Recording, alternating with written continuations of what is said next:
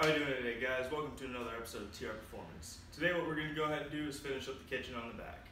If we have time, I'm going to try and uh, go ahead and get the aluminum stripping on the sides to go ahead and waterproof everything and get ready for paint.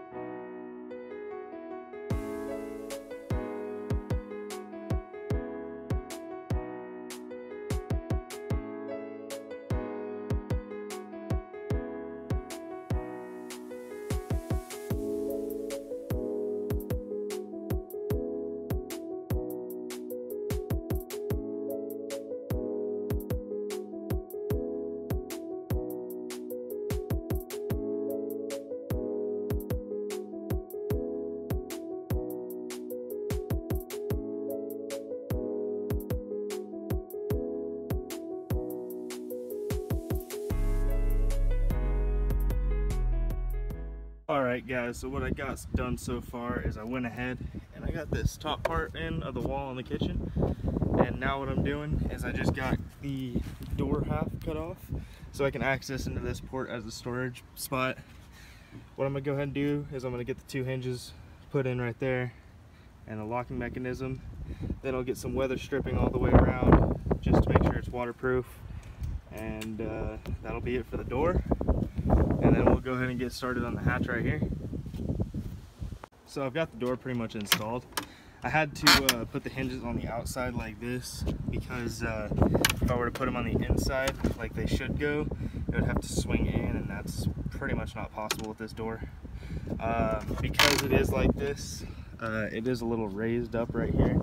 It's kind of messed up, but it still opens and closes fine. Uh, what I'm going to go ahead and do now is I'm going to trim off all these uh, poking out screws so that it can uh, go in nice and flush and won't catch on anything. Uh, so yeah, I'll talk to you guys when that's done.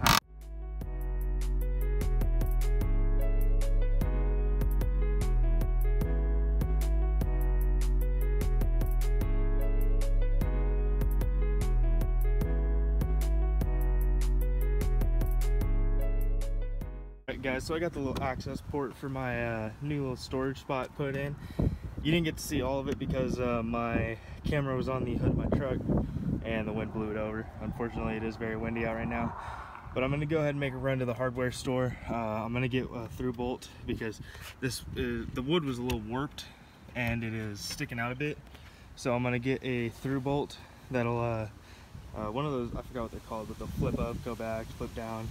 One of those uh, just to keep it uh, pushed up against the weather stripping so it's a watertight seal. I'm also going to go ahead and pick up those little triangle pieces I was talking about in the last video, some more weather stripping, and uh, maybe a few other things. And I'll be on my way back to get the hatch finished up, and then we're done with the kitchen and ready for paint. So I just got back from the hardware store, got the few things I needed to continue. I've got about an hour before I got to call it quits for today, so my goal is to go ahead and actually get well for sure I'm gonna get this piece taken care of that little through bolt that I was talking about. But I do want to get the hatch and the weather stripping for the hatch taken care of. I might not actually get the plywood for the sides and the top done yet or the locking me mechanism but I would like for it to be ready for paint soon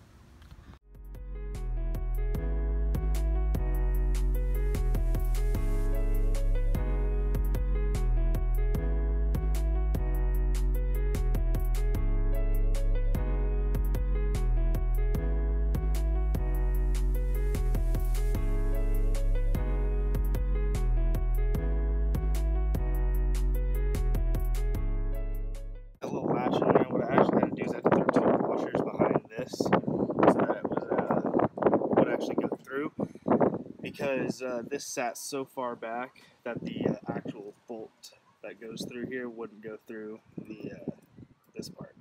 So now there is a nice tight seal all the way across with the weather strip. You can kind of see it right here, nice and tight. It's got a good, uh, should be good water, good and waterproof.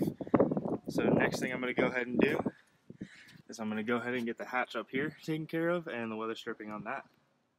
Unfortunately, due to a time constraint, I was not able to finish the hatch on the kitchen door. Uh, what I was able to do is I was able to get the plywood on the top portion of the kitchen taken care of. That's going to help me out in the next video when we do end up finishing the kitchen.